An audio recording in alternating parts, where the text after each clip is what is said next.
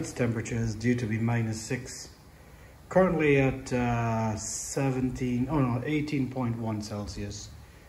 Um, I was 17.8, but I brought it up slightly. Uh, the weather is cold next couple of days, uh, so I may drop it down or leave it, either one. Um, managing the bills, but yeah, Koi looking good, I think. Nice chats with some of the guys uh, in Australia. Cam in Australia was ordered some Rasta merch and also um, James Rothwell in New York State and a few others in the US who's uh, been in contact. Um, the thing about a UK hobby, it could be quite vast into people who just keep pond in a hole with a couple of fish. Um, uh, so they're not really into the high level stuff. Very few are into the high level stuff, mainly uh, you find as you go further afield in that way. So these are doing good and uh, yeah, no, no fish buying for me. Coronavirus has sort of, oh, a little bit of food that I do get a couple of hours a day coming, coming out mainly sinking pellets as you can see now the looks one colour because that's a sinking wheat from Sakai Kentaro's mix that I picked up from the barn koi water barn um, so I've got a fish to collect from the koi water barn which is a replacement fish for one that I bought from them that turned out male but they're gonna sort it out with a new fish so I've got to get myself ready to do that. But with lockdown and everything else, no one could do anything anyway. So uh, hopefully the next video would be me filming at Koi Water Barn in a few months' time if lockdown eases. When I go down to look at the fish that's coming and make a selection. Whether I make a selection then or later in the year, doesn't matter. Keith is kind enough to let me have the choice of the fish whenever uh, I'm ready for it. So. I'm not not ready to rush in and buy a fish straight off the plane. I'm happy to wait till later in the year if needs be. So these are all doing good. And you can see they uh, love the sinking food. You wouldn't see, there's a couple remnants left over of the floating stuff just at the bottom there. So uh, that's what that big fish is taking. A couple pieces of uh, deep red, Saki-Hikari deep red. The rest of it is wheat germ in there. I tend not to feed any color food till uh, this sort of temperature anyways. And uh, yeah, there's four fish to leave this place, this pond, single color fish to go once spring has sprung and temperatures begin to warm up. A lot of the guys who bought these fish, uh, like I said, many UK guys who don't really keep high-end stuff. They tend to keep the mid-range and or lower end and they're not heated and stuff like that. So the market for that sort of stuff in the UK is very small for the really high-end stuff. Only a handful of guys would do that. Um, so these are in that way. They've been uh, about three weeks ago, this pond, before I dropped the temperatures, got a hard hit of potassium permanganate, affectionately known as PP um, which I tend to do anyways to kill off anything, and that was hit really hard at three grams per ton. I think the recommended doses is uh, 1.5 per ton. Some do two per ton. I hit I hit mine at three grams per ton. Recommended that you do that because you can't lose your fish if you don't know what you're doing. But that kills everything, every parasite, every sign of any parasite. It's kill off as well. And at that sort of rate, uh, nothing survives. Um, I know some guys who've tried it and lost their fish, so I wouldn't advise that you do that as well. So this is just a short uh, video. Um, not sure what uh, we can film really because as you can see there's a bit of snow still on the ground there. The ground is, although it's a little bit squelchy, but it's frozen solid other places there. Um, but yeah, everything is set. Even the rabbit bowls are frozen at night, but they're locked into heated warm spaces. They've got their own heating system, the rabbits. Uh, so yeah, a little bit like Noah's Ark. So there you go. Hey Chip, I just wanted to say this rustic red jacket keeps me nice and warm in this wonderful New York weather, along with this wonderful sweatshirt, and of course your videos. Keep up the great work, Chip. Thank you. Well, freezing cold here in the UK. Um, you can see the pond over my shoulder. Koi are all good. It's freezing. The ground is frozen solid few days of snow, which is unusual for the UK. Um, but good news is next week looks to be spring-like weather. Not spring, but spring-like weather. Hopefully you can hear me. I'm using my AirPods and hopefully it's recording directly onto the phone. We'll find out when I come to edit this. So, yeah, quite warm and cozy. Well, I say warm, the temperature is about 16.5, 17. I need to check. I think about 16.5 is one I check or 16.7 but yeah they're all fine. In winter mode so they're not being fed hardly anything if anything at all. There's some sinking wheat germ up there saki uh, Mr. Kentaro Sakai food but that's only being deployed twice a day at less than 50 grams so it's just enough to keep them interested in food. So there's not much really to film and what's going on here. Got the Rasta merch on, as you can see. Uh, thanks to all the guys who purchased Rasta merch. Shout out to the boys in Australia, Cam, and the crew over there. Uh, you should have got your Rasta merch shortly. Also the James Rothwell in New York. Um, few other guys in the US and all those in the UK and Europe who's been purchasing the Rasta merch. There's jackets, hoodies, zip up hoodies. Unfortunately, we don't, I can't get any sizes bigger than 3X. So if you're bigger than 3X, uh, I do apologize. We, my supplier can't do anything that size or bigger. So, um, but for the rest of you, you're able to get that. Of course, you could get a hat, um, other things. I don't have one on. I can't afford it. I can't afford my own merch. What does that tell you?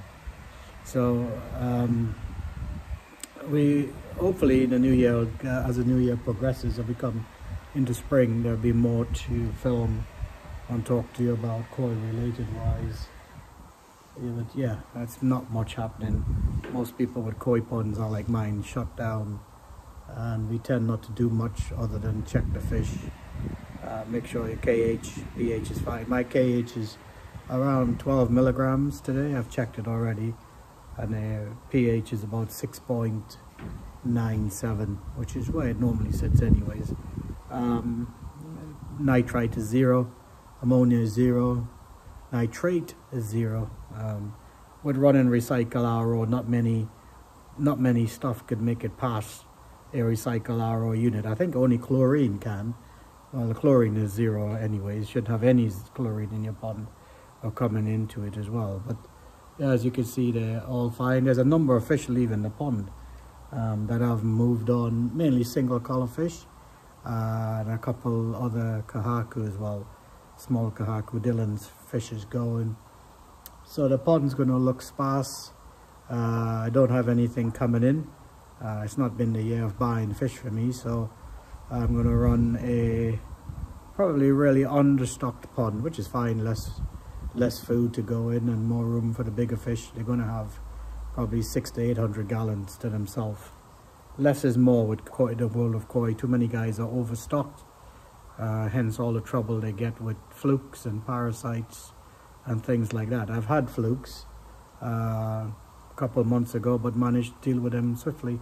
No problem. My own protocol and it works. And yeah, I, for me, things seems to work for me, which maybe it's luck of the draw. It doesn't seem to work for everybody else. Um, but I've got different ways of doing things. So yeah, I'll take you into the pod in a moment now and have a look. But yeah, it's freezing cold. Um, okay, yeah, just came in to check up here. Um, so that's the pH and the temperature at the moment. Uh, that's the recycle RO running there. Just been doing some testing, so it's a bit messy.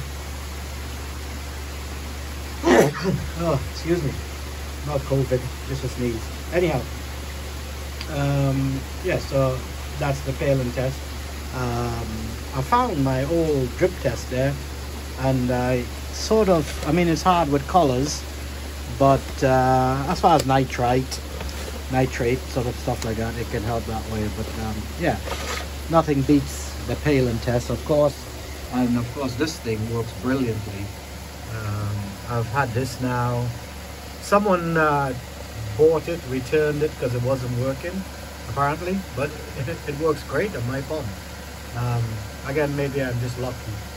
Um, anyhow, the TDS is about 73 in that way, and uh, as you can see there, page is there. Recycle RO is running, it's freezing temperature. I've got to clean these out. They need a soak and then a jet wash, which I can do once uh, the week unfolds. So just at the moment, this is the inside of the pond. We'll walk over now to the main pond and have a look again. Yeah, tidal waves, sun is shining. I'm just cleaning the window. This is what I use. Found it on Amazon a few years ago. Um, so it's okay. Gets most of the stuff out. So the window. I should have showed you before, but couldn't be bothered to film and then do the whole clean the window step. I'm sure you all know what a dirty window looks like. So just cleaning this. There's not much to film. Uh, but the sun's out. So I've got to do a few chores around the pond and build a gate as well because I've got a spot in the corner that I need to put a gate. So I'm going to try my hand doing that. Peace out. Okay, window's cleaned. Let me show you. There she is. All 90 centimeters of Takigawa. Well, I say 90. It was 88 last June. 87, 88. So, but there you go. That's the difference a clean window makes. Sun's out, so I've got, although the lights uh, help towards color, but as I said, my garden is south faced in, so uh, once the sun is out a lot, I don't need the lights on, which saves on the electric. There's that big tancho. What a fantastic koi. um, yeah, so there you go. Now I'm going to go measure up and try to make a rabbit-proof gate that looks neat with my skills, which is zero. Peace out.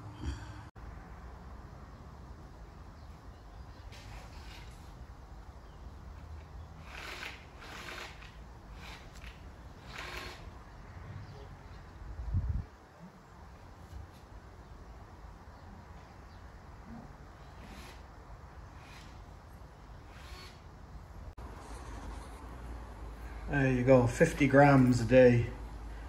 Feeder just went off. End of the day, gate almost finished. Looking good, just painted it. I'll show you the end product. You don't need to see the cottonwood bit.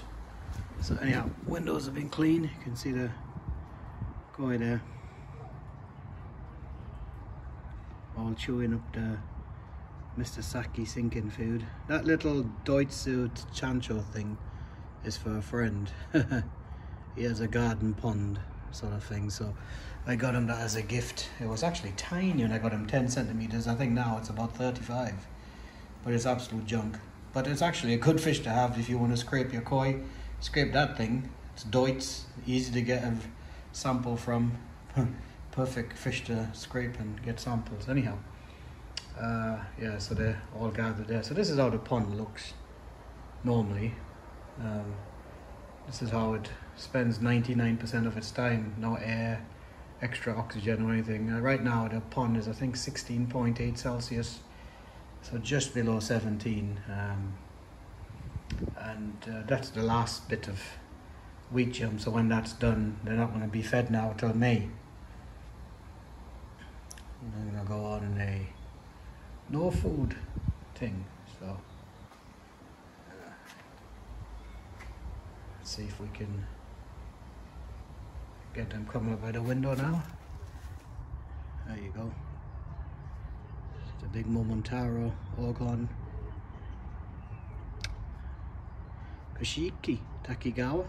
That's for sale if anybody's interested in a decent, very nice I should say, uh, Goshiki. Five colors. Only reason why I'm selling it because I bought another one from Taniguchi. That's uh, good enough for a Japan show. So that means that one is up for sale. Not a cheap fish, it's a couple of grand, so that's the sort of money. Just email me at rastakoi at yahoo.com. That is an amazing asagi right there. So I know someone who's a couple of people who are interested in it, but um, it's just a fantastic fish. It's coming this way, so. That's uh, as good as they get. She's nice and clean. Beautiful fish. Stunning.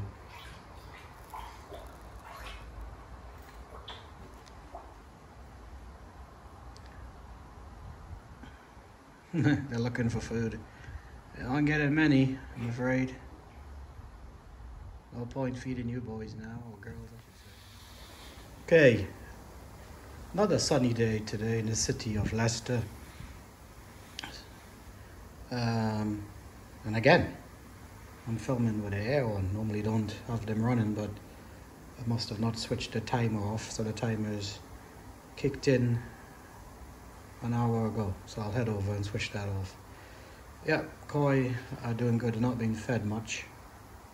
Um, my gate that I installed is here. Stop them rabbits going down. Box in place. It's a dumping ground for you should know what. Anyhow, go back and show you the up pipes in a moment. But yeah, koi are all happy and healthy. I've got now like sold on a few other fish that Sagi is gone, or going I should say, so there's quite a few fish leaving here.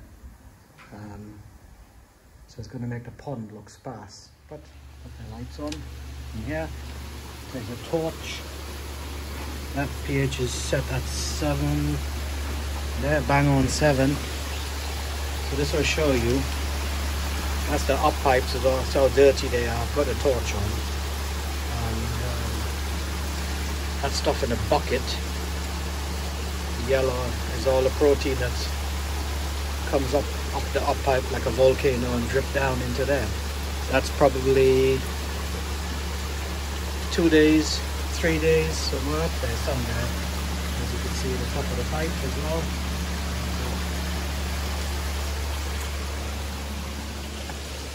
Yeah, so Onkoya uh, looking happily happily, is that a word?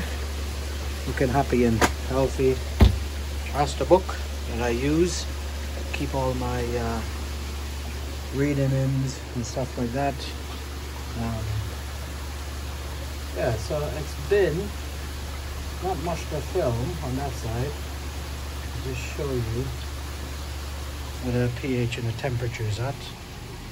So that's the pH and temperature. I'm not being not going to feed them a lot, so. And uh, yeah, not much happening in the koi world, unfortunately, coronavirus and all that. So this is just a short video to keep you up to speed. Peace out.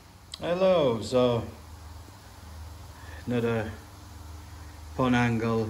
Now today is 12, 12 Celsius, so it is milder. My kids keep saying warm. It's not warm. If you're from Trinidad, it's mild. Anyhow, so it's 12 Celsius out in the pond.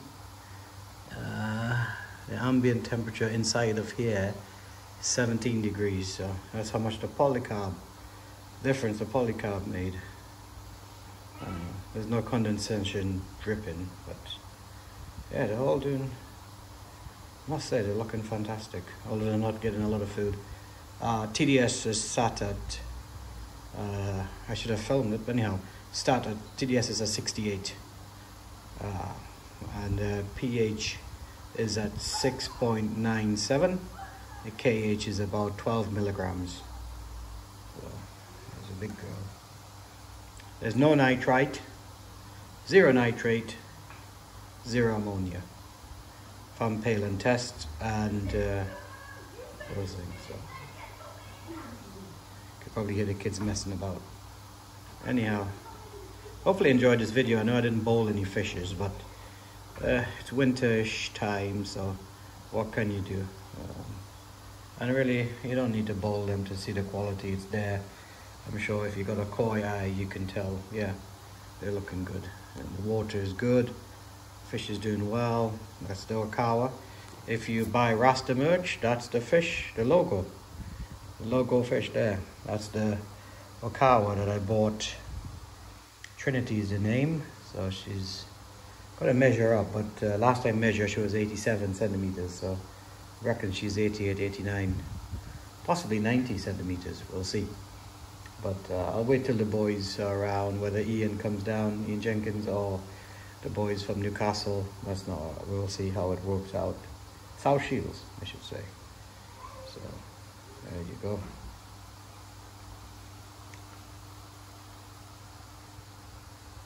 Hopefully you enjoy. Uh, there's been a lot of people talking about stocking rates. You can, and there's six, seven fish coming out of here, so you got to take six fish out of the equation or seven, I can't remember, and uh, that will show you the true stocking, yeah, which is in spring. Is those all single color fish are gone. The sagi should be gone. That Momotaro in the back is gone. So there's quite a few fish that has gone from here. Um, yeah, stocking rate is important to keep lower side, but too low, and I think you you compromise the fish's ability to feed properly. Uh, they need to have competition for the food, and it's something I think that is important if you just have one or two fish. When I dropped in all the smaller single color food, my fish ate a lot more because the single color food fish would just, the single color fish, sorry, was just rushing the food and the bigger ones couldn't get it and they all up their game and then they begin to feed like beasts. So I think, yeah, you, you need to have sensible stocking, but too, too low for stocking is as detrimental because the fish are not really getting chance to uh, they feed at their leisure rather than feed because somebody else is going to take the pellet. So you got to get the balance right, is what I'm trying to say. Certainly, understocking is not going to be any problems long term. Overstocking with flukes and all those things.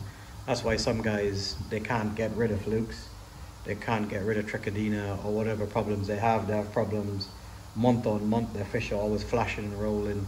You've probably seen. I've been recording this now, coming up to four minutes, not one flash because um, the more fish you got in there, the more the harder the medicine has got to work to, to combat the parasite that's in there.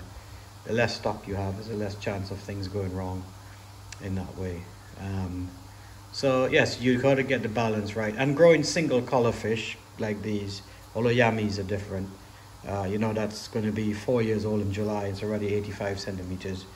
Um, single color fish like this thing, they're easier to grow. So it's hard. It's don't judge your pond by, okay, I got fish at 91 centimeter, single color koi. Try Gosanke, that's a different uh, thing. So that is 87, 88 last year, July. So uh, hopefully it's grown. I don't know. It, it, sometimes they don't grow when they get big. They just body out. That is that size. So um, don't judge your pond or the growth rate on single color fish because you drop a pond full of chagoi in here uh, pretty certain I can get them all massive. Another thing to mention is I've got fish with sumi on there. See, gorgeous sumi, and that oh wait I show her. And some guys think because I run RO, then and my pond has like oh no KH in it, so it's little or no KH, the pH is low, then the sumi would suffer. Actually, it's quite the opposite. Quality sumi comes out no matter what. If the sumi is being suffered and you need hard water to bring the sumi up, whether it actually does, then it's a sign of actually poor sumi, not quality sumi in that way. So something to bear in mind. Um, that may not bless you to hear that. Um, but if you have poor quality sumi in softer water, it will fade out. If it's good quality sumi, soft water, hard water still come through. And I saw that at Yumikoi Ponds in Bristol where Mike also ran it off. I'm seeing it here, soft water. Sumi's developing like crazy. Look at this thing. Sumi's every time, I, every day I look at it, there's new new scales there. New scales of sumi coming out. Same with the Sankey there. So um, I don't think that's a problem. I think the fish has got to have quality sumi in the first place. So that's my thoughts in that way. This Asagi is gorgeous. I sold it. Somebody's desperate for it, so it's been sold. But uh, every day I look at it, it looks so fantastic. So you know, you know who you are who bought it. You got a fantastic koi in that way. So hopefully you enjoy what you saw there. They're not being fed hardly any. I think I think I've brought it down now to 25 grams a day. That's all they're being fed. It's at 17 Celsius, so um, they're all looking like they're losing a bit of pounds, which is what we all need to do in lockdown. So they tend to be doing okay there. So yeah, next time all these those would all be gone and all the other single color fish and the sagi and whatever you and then uh, yeah. And uh, anybody interested, we've got a lovely Takigawa Goshiki for sale. Just message me. We could do a deal on her. I've got one at Taniguchi that's good enough for the koi show in Japan. So um, I don't need two to uh, Goshiki. So if you're after a Goshiki, send me a message at rastakoi at yahoo.com. Obviously, you've got to live in the UK. I can't send it abroad, and then we can talk. All right, so they're not a couple hundred pound fish, so just be just bear in mind is that fish is almost two grand, so that's the way it will be. All right, peace out. Hi Chip, Cam here from down under in Australia. Love your clothes, fantastic videos you do on YouTube. Go Rasta Koi. Yeah. Oh. Hello, Chip-san. Konnichiwa. Boshi, arigatou gozaimasu.